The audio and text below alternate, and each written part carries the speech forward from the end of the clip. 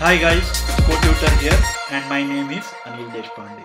In the previous video, we have seen how to create a dialog using a normal dialog class that is available since the API level 1. But in this particular video, we will have a look at how to use dialog fragment to create a dialog. You might have already observed that dialog fragment is a subclass of fragment. Well, if it is a subclass of fragment, then does it have all the lifecycle methods of the fragment? And if yes, how dialog fragment is different from a normal fragment? Well, to understand that, it is better to have a look at the lifecycle methods of the dialog fragment itself. And if you have a look at it, it looks pretty much similar to the lifecycle methods you would have seen from a fragment class. But then, how it is different from a dialog fragment? For that, we will have to concentrate mainly about onCreate and onCreate view. The main difference is between the onCreate and onCreate view, there is another method which is called as on create dialog which you will see only in dialog fragment and this particular method on create dialog returns me a dialog this is how it is slightly different from a fragment making use of on create dialog which returns a dialog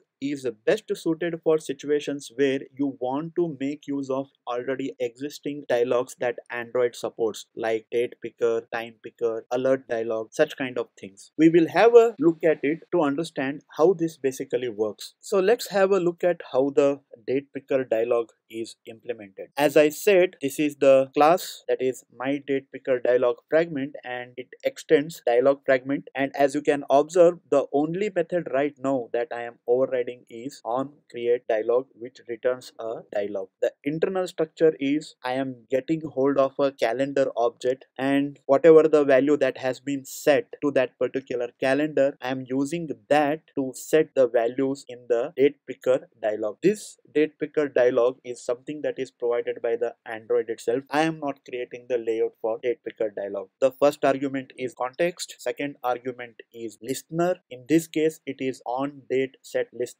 and then year, month and day. That is how you set date picker dialog. On date set is the method from the on date set listener interface which will get fired whenever you set a particular date. What I am basically doing here is just toast the value that user selected and that's it there is nothing more to this. Now the question is how this particular my date picker dialog fragment is getting triggered from the main activity. If you go back to the main activity here, this is the button that is button date picker. On click of that, I am invoking a method called as show date picker dialog. If you observe whole set of code that I have written, it looks pretty much like I am trying to trigger a fragment. I have created an instance of the my date picker dialog fragment. I created a bundle. I set the calendar instance with the current date and then I am setting calendar to the dialog fragment using the set arguments. If you observe, I am setting the calendar with the key today in the activity and this is exactly what I am getting back here in the get serializable get arguments. I set the bundle to the dialog fragment. I just use that dialog fragment and do a dot show. The first argument is the fragment manager and that will just basically trigger the date picker and as you can observe current date is 13th April and you can just change whatever the value that you want to select and when you click on OK the toast message is coming as we had implemented in the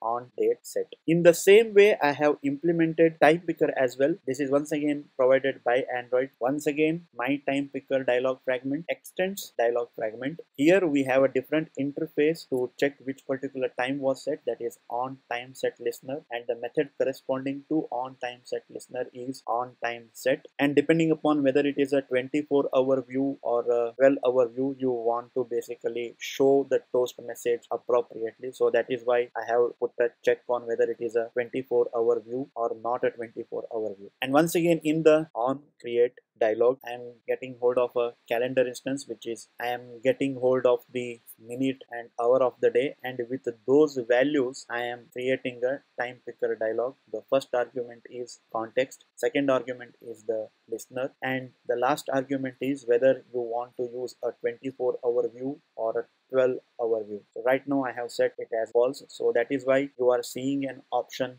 of am and pm if you want to make this as a 24 hour view then you have to pass this argument as true. And once again if you go back to the main activity this is how it looks like. You have a button time picker. On click of that i am just invoking show time picker dialog. As you might have observed i am not even setting the bundle. So it is just a instantiation of the time picker dialog fragment and then just showing it that's all. So in both the cases that is date picker dialog and time picker dialog the only method that i implemented was on create dialog. I have not overridden any of the other methods. This works fine because the dialog is already there provided by the android. But this is not always the case. We will have a look at that alternate case in the next video. That brings us to the end of this particular video. Don't forget to like comment share the video and subscribe to the channel take care bye